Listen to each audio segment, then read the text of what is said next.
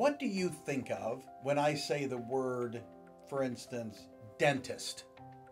Do good thoughts come to your mind? I kind of doubt it, at least not for me. How about if I say the word taxes? Oh, oh who loves April 15th and the tax man cometh?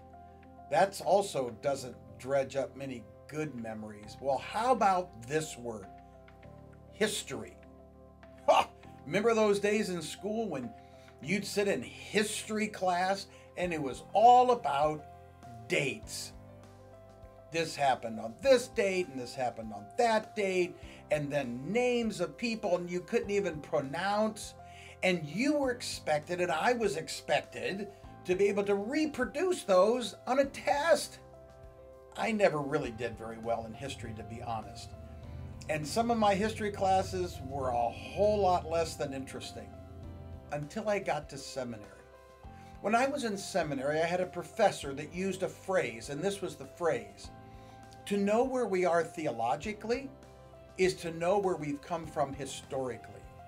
And for the first time, I began to understand the importance of history.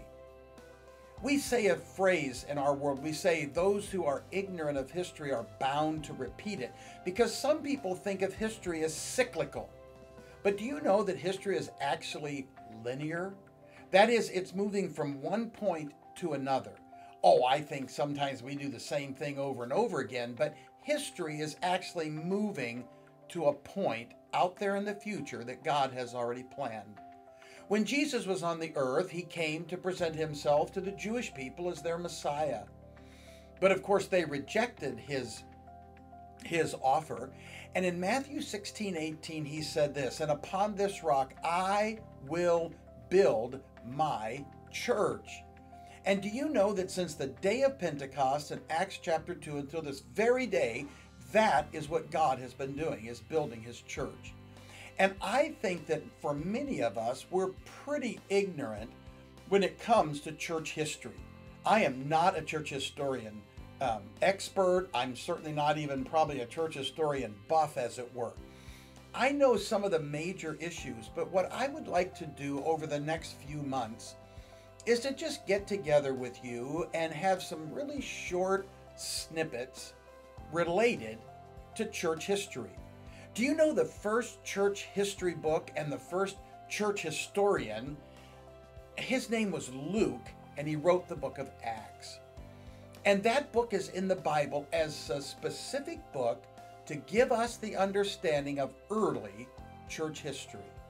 And then throughout the rest of the of the ages since that day until today, there have been important dates, there have been important people, there have been important events that have happened that have shaped who we are and where we are in the church. So what I'd like to do with us over the over these little video clips is to be able to help you and I to review some of those people and dates and events. I trust you'll join me as we look at some important stuff. We're not going to deal a lot with this date and that date. I want to help you to understand how important it is for you and I to understand that in the past, God has used the church and he will continue to use the church in the future to take the gospel to the world until he's finally finished with it. So join us in this brief look at church history from the first century until this century and let's look at it together to understand how important the church has been to the flow of history. Thank you.